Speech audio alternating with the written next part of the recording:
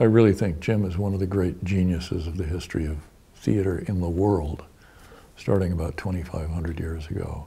Everything that happens at Signature beats with Jim Houghton's heart, and he is the underlying pulse of the entire place. He is a visionary who functions by serving other people, um, by serving the playwrights, by serving the artists and the staff that come to work at Signature. There's nobody that I've met who's more uh, extraordinary than, than Jim. You know, I mean, if you think that a theater like this gets built, that 25 years of plays get produced without dissembling and manipulation, and you're crazy.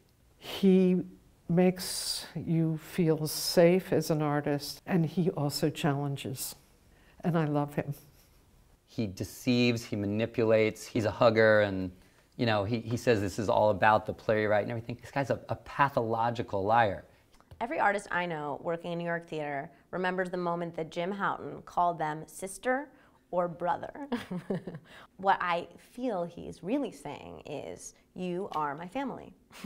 Working with, with James Houghton was uh, like going to have fun every day.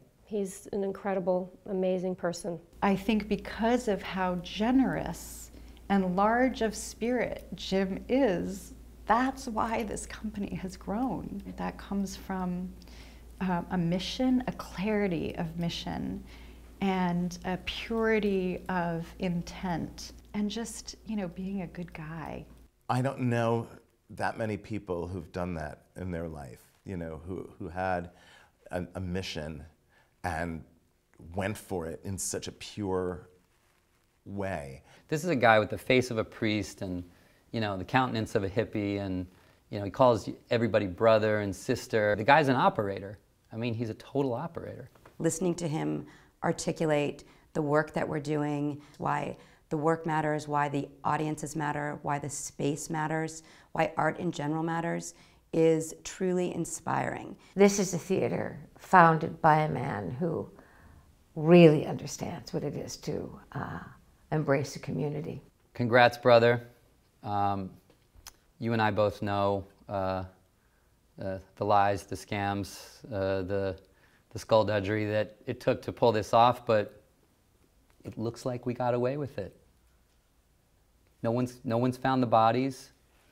No one's found the emptied bank accounts. Amazing, amazing.